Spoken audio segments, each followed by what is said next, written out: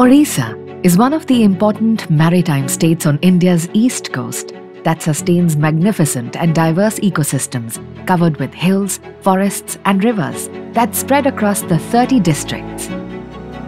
It is a well established fact that the fisheries and aquaculture sector play a very momentous role in providing nutritionally rich food and livelihood support to the marginalized communities across the developing world, thus contributing directly and indirectly to their food security.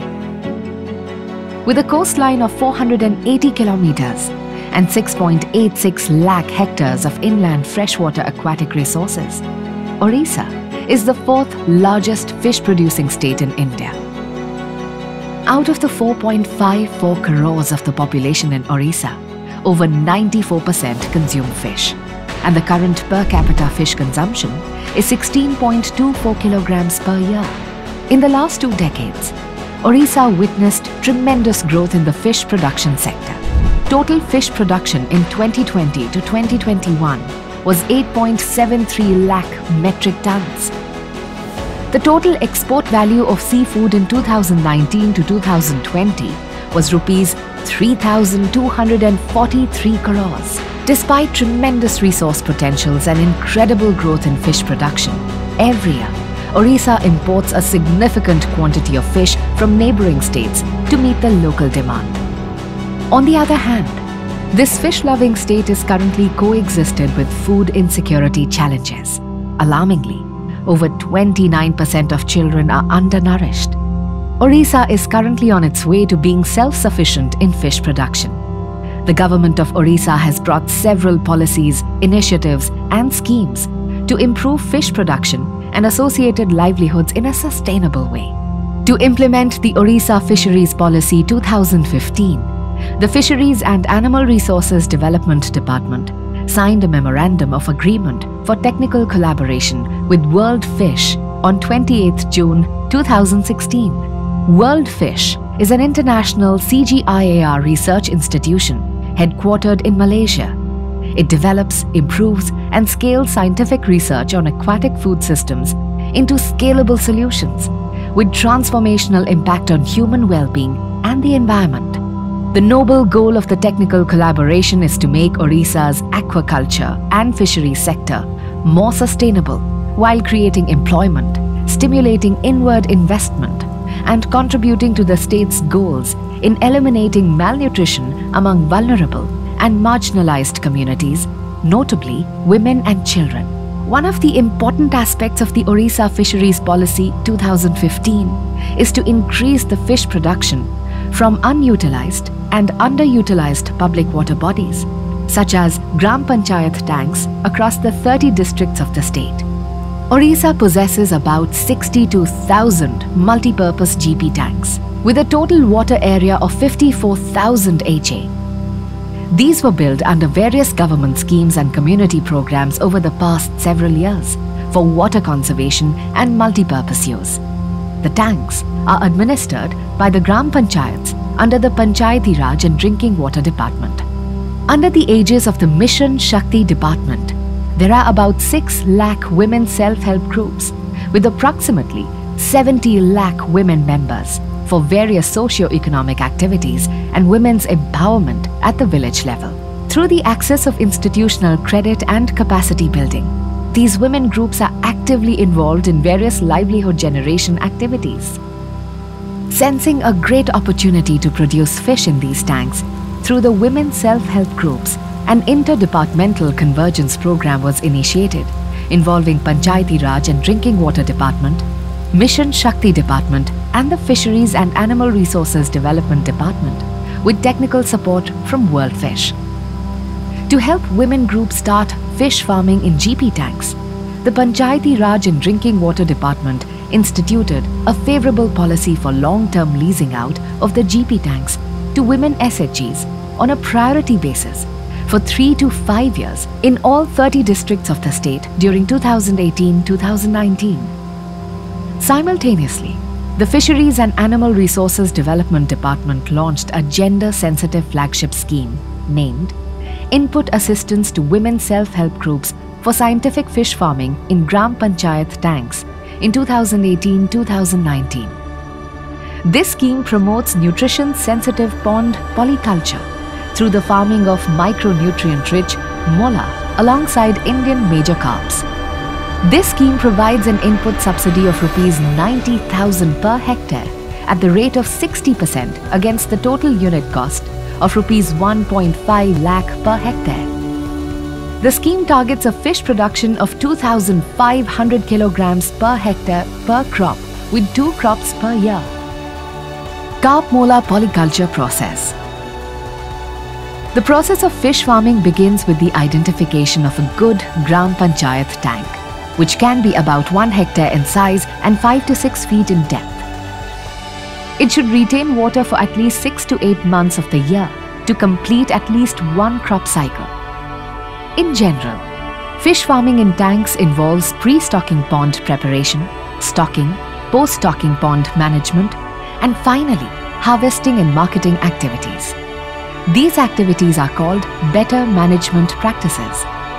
Tank preparation involves sun drying and ploughing of pond bottom in case of seasonal ponds, which get dried up during the summer season.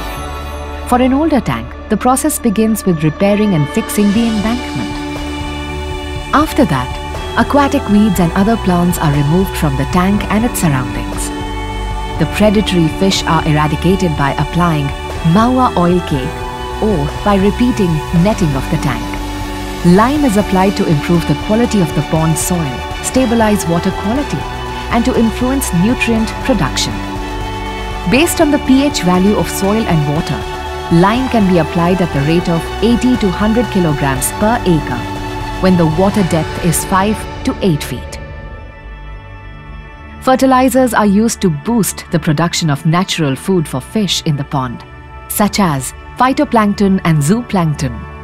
Inorganic fertilizer such as urea at the rate of 20 kilograms per acre and single superphosphate at the rate of 40 kilograms per acre can be applied along with organic fertilizers such as 80 kilograms of cattle dung per acre.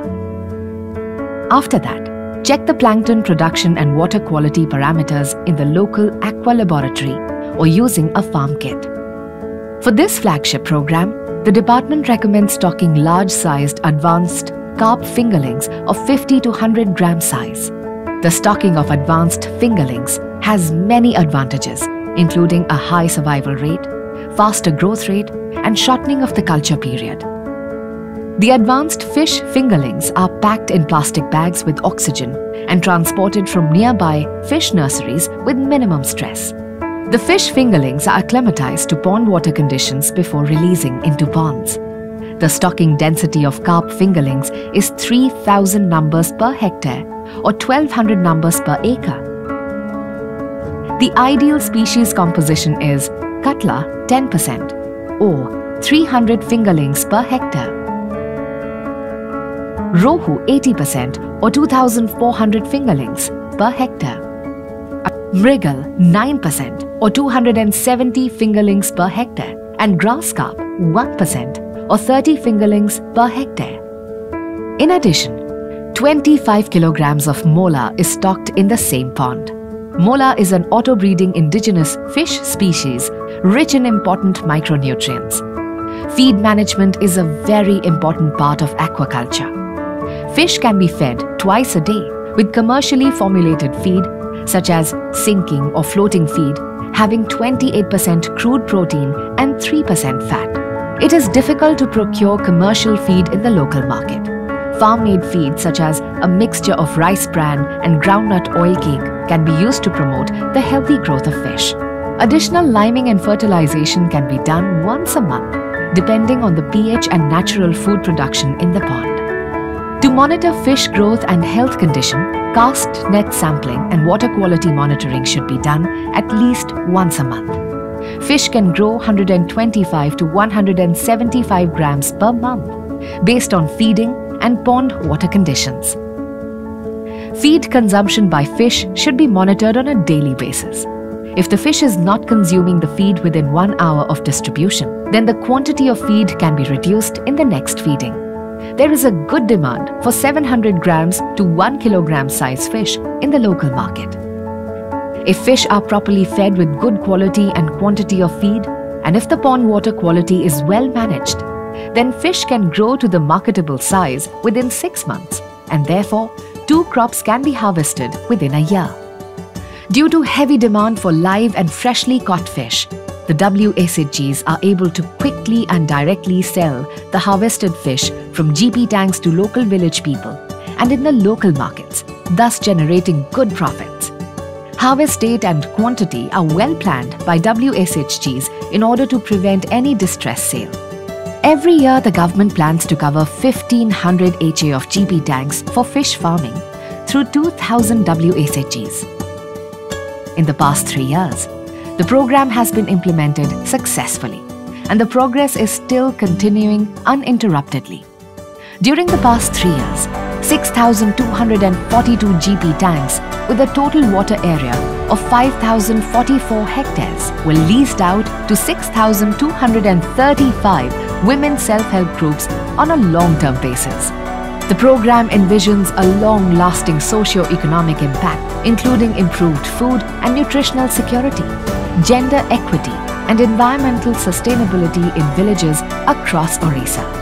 The program resulted in increased fish production and productivity of the GP tanks across Odisha, which in turn increased income and consumption of nutrient-rich fish among local households. The women self-help groups were trained and guided throughout the fish farming process.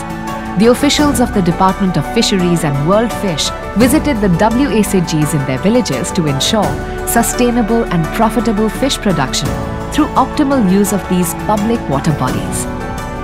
Collective efforts, proper training and adoption of better management practices eventually increased adaptive capacity to the women self-help groups, thereby helping to achieve sustainable fish production in a big way. On a daily basis, WorldFish Project personnel communicate with the Fisheries Department authorities, including headquarter staff, district and block level officers, to ensure appropriate design, planning, execution, monitoring and assessment of numerous activities under the 5T program of the Government of Odisha the 5T program of the Odisha government aims to transform the state through transparency, teamwork and technology in a timely manner. A project steering committee has been set up under the guidance of the Commissioner cum Secretary of Fisheries and Animal Resources Development Department, which approves the annual work plan and reviews the project's progress on both a quarterly and annual basis and provides further guidance for implementation. Odisha being an agro-maritime state on the east coast of India, with the thrust in agriculture, fisheries and aquaculture, have been under the close and constant attention of policymakers and planners. The state is endowed with small and big ponds, small or medium and major reservoirs, a large coastal belt suitable for brackish water aquaculture and deep sea fishing. Scientific fish farming in Gram Panchayat tanks by women self-help groups is generating sustainable income for rural women.